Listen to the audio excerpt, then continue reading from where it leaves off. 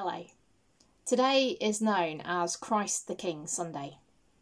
It's the final Sunday of the church year. Just like school years have different start dates to the calendar year, so does the church. Our new church year begins next Sunday with the beginning of Advent. On Christ the King Sunday, we think about what it means for Jesus to be King. At the end of the church year, we think about what will happen at the end of time as we know it.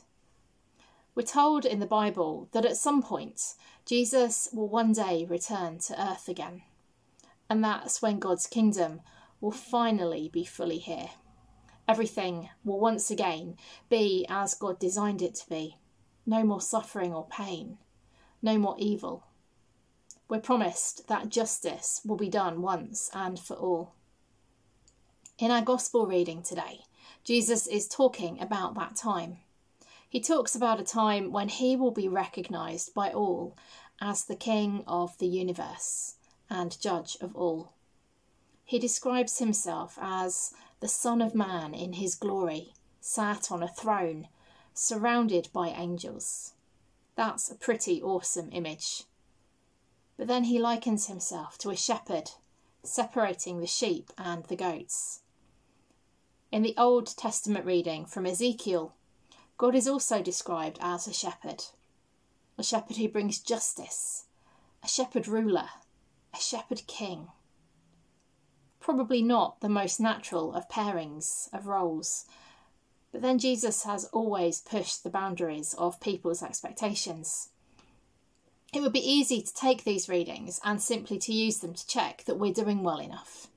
If we think of it in terms of Jesus' return, it can be tempting to reduce the gospel reading down to checking that we've done enough good things to earn our way into heaven one day.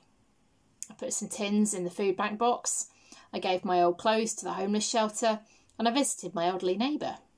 I've done more good in my life than bad. I must be okay. But the point of what Jesus was saying wasn't to get us to check that we have enough stars in our eternal life sticker chart.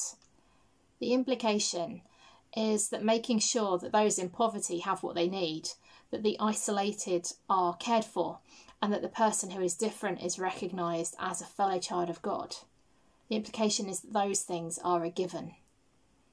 If we wouldn't ignore Jesus and his needs, then we shouldn't ignore the needs of any of God's children. God is the God of ultimate justice. The justice God wants and will ultimately bring is far deeper and broader than even the most generous donations and being kind to those who are overlooked. The justice of God is world changing, it is world challenging. God's justice challenges the very structures of nations and societies that allow injustice, poverty, and discrimination in the first place. If we're wondering whether we've got enough gold stars to make it into heaven one day, then we're missing the point. And we'll probably be a bit disappointed as well, because that's not what this is about.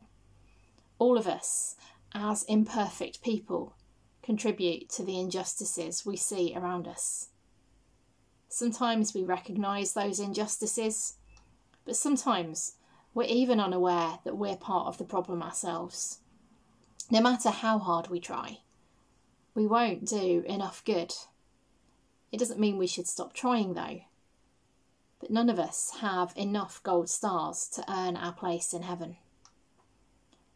Elsewhere in John's Gospel, Jesus describes himself again as a shepherd, as the Good Shepherd who lays down his life for his sheep the sheep he knows by name. We should all be doing good anyway.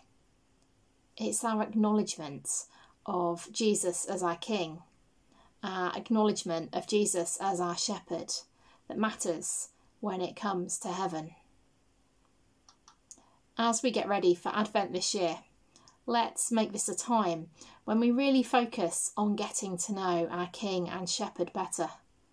Let's make it a time when we grow closer to Him so that we can recognise His voice in our lives more clearly, so that our hearts learn to beat in time with His.